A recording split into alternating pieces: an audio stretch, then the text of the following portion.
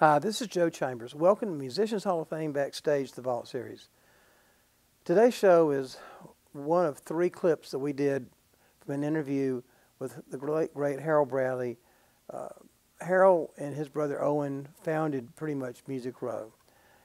In this clip, Harold talks about the uh, session musicians that he performed with. He he was one of the Nashville A Team session musicians that played on so many hits and kind of created the Nashville sound. He talks about each individual player and his thoughts on those on those players, as well as the pre-players, the pioneer players uh, who were here before the Nashville A Team actually was put together in the very, very early ages of the recording business here in Nashville. Hope you like it. If you do, be sure to hit like, subscribe, and the notification bell so you don't miss any of our new content. Once again, late, great Harold Bradley. Would you mind just, you know, starting with whoever you want to start with and just kind of run down that list and and just tell just a little bit whatever you feel like about each one of them? In uh, deference to the ones who've gone on, I'm going to try to do the those guys. I can't do them all first, but I'll do. Tommy Jackson was a great uh, fiddle player. He was from Nashville. Uh, I think if you talk to Ray uh, and any of the other guys, you'd agree that we never heard Tommy hit a sour note.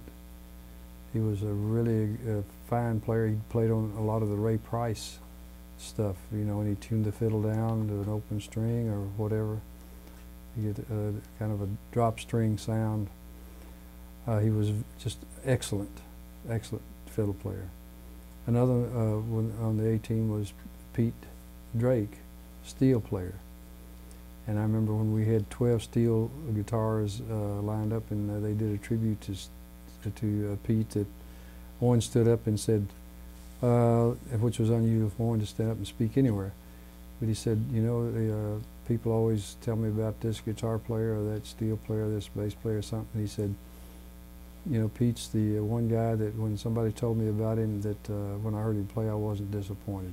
Mm -hmm. He always plays the right stuff right? He always says he knows exactly what to play. And then uh, you have my buddy Hank Garland. I met him when he was about 14. And he played, he was fast, but he was rough.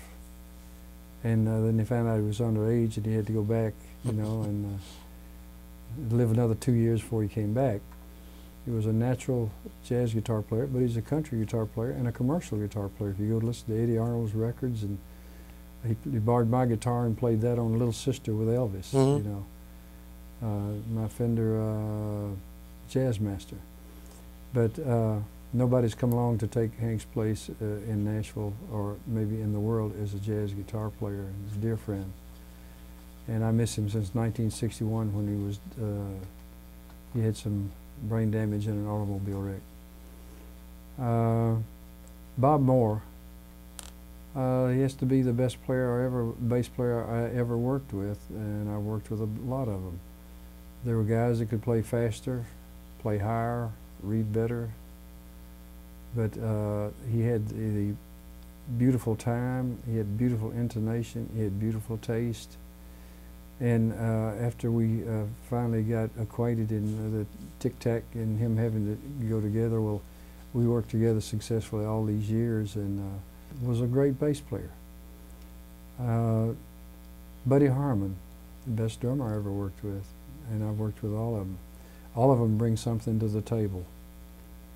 But Buddy could play everything. He was the most underrated drummer because he was very laid back. But uh, he plays the country shuffle better than anybody in the world. Uh, Vince Gill calls him the uh, shuffle king because of the way he plays the country shuffle. People forget that when we were doing the country records, they wouldn't let him play anything, not the toms, and even the bass drum, instead of having a pop, it had a boom when he hit it, you know, you don't even notice it, and it didn't get in my way because of him doing it. As a drummer, you could also call him a musician. He, he played vibe some, he played piano for fun, but uh, he, he, tuned his snares, he, he, it was always, it was musical. And when he touched it, it was musical. Uh, Floyd Cramer, amazing.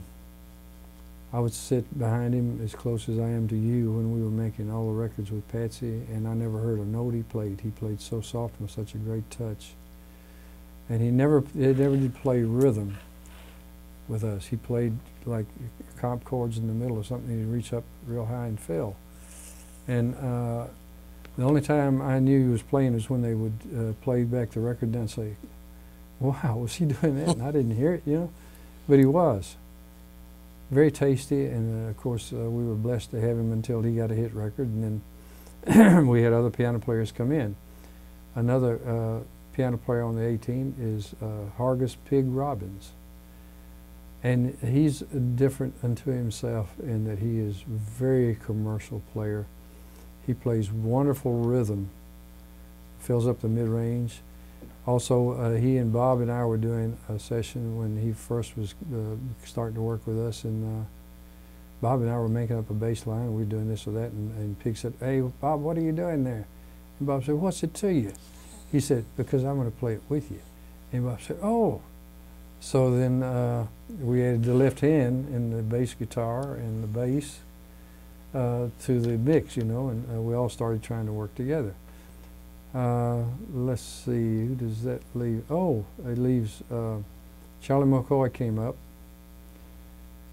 and Jim Denny heard him and thought he was really good. He took him over to my brother Owen and said, "I want you to listen to this kid." So Charlie walks in uh, with a uh, real loud guitar and a little small amp, and he blasts uh, my brother away in his small little office playing Johnny B. Goode.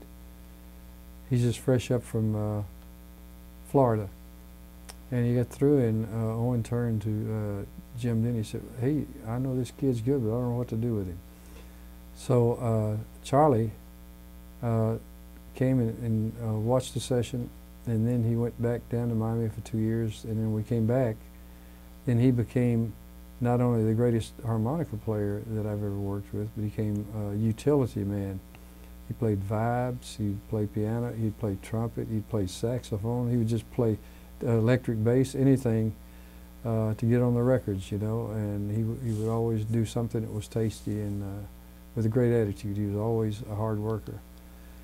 Uh, then uh, Boots Randolph, fantastic, wonderful commercial sax player. Uh, he was working in Evansville for a guy in a club who bought him a house and uh, we tried to get Boots to move down here. He said no, he, he couldn't because he wanted to honor that commitment to the guy. We'd work sessions, and he had a little red Volkswagen, and I'd say, well, come on, you know, spend the night at my house. And he'd say, well, no, uh, but I'll come out there. So he'd come out. I had an extra bedroom. He'd sleep three or four hours, then he'd get up and drive back. I never saw him for breakfast the next morning. You know, he'd drive back to Evansville, but he, he, he would come and sleep at my house son. Uh, Ray Edenton. And when Hank Garland got hurt, my brother said, who do y'all want to take his place? And we all voted for Ray Edenton. And Ray dived in there and became the greatest rhythm guitar player in the world to us. Never had to worry about Ray. He, I mean, he was, time was so good. And he always figured out a way to play whatever it was. If he didn't know it, he, he would come up with it. Uh, let's see. Um, whom I, I, I, I'm trying to get to one guy in particular at the very last. Uh, and I guess I'm down to him, Grady Martin. Grady was the most commercial guitar player I've ever known in my life. We consider him uh, the leader of the uh, A team because he was just great and he was the leader on so many sessions that uh, were big hits and great ideas that uh, you just uh, really just can't leave this guy out. Uh, I think I've covered them all there. If, if that's if that's Would, eleven uh, guys, would Lightning be in there at all? no, he was an early pioneer. There's a list of pioneers, uh, guys. Uh, yeah, uh, Ernie Newton on bass, uh, Farris Coursey on drums, uh, Jack Shook on rhythm guitar. Uh, Grady was there. I was there. Uh, Bob Foster, uh, Floyd Robinson, uh, Jerry Byrd, uh, Chet. Lightning definitely would be one of the pioneer musicians. I guess Jimmy Self, rhythm guitar. Eddie Hill did some records on rhythm guitar. Vaden, Tommy Vaden. And then you got Don Helms. Played on a lot of stuff down there. You know, played with Hank Williams, but uh, he played on a lot of other people's like uh, Patsy Cline's Walking After Midnight. Mm-hmm. Well, there- and also you got to remember the Anita Kerr singers ought to be in there. But somebody asked Chet about a year before he died, or they said, "Well, you know, you're rich and famous. Why are you still doing this?" He said, "I'm still trying to get it right."